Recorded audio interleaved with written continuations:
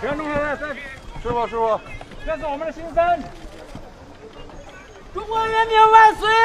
好了好了，好了好了，你快点快点，可以了可以了可以了，好。美国从我们对象，啊，美国的都晓得你你开多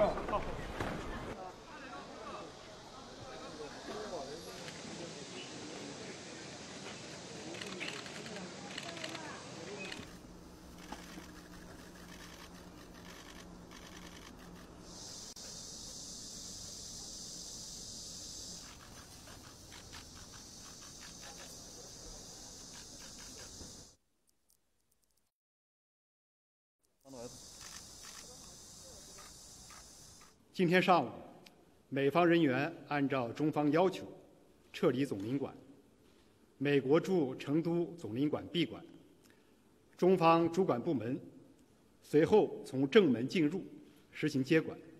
中方要求美方关闭驻成都总领馆，并对其实行接管，是对美方关闭中国驻休斯敦总领馆，并强行进入其馆舍这一无理行径的正当。和必要反应，符合国际法和国际关系基本准则，符合外交惯例。中美之间出现目前的局面，是我们不愿意看到的，责任完全在美方。我们再次敦促美方立即纠正错误，为两国关系重回正常发展轨道创造必要条件。